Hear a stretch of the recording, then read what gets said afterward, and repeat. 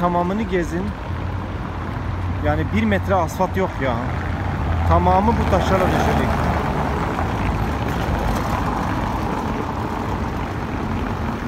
Bir de bütün binalarda bir heykel var ya. Genellikle hepsinde heykel var. Ön girişinde, tevettinde.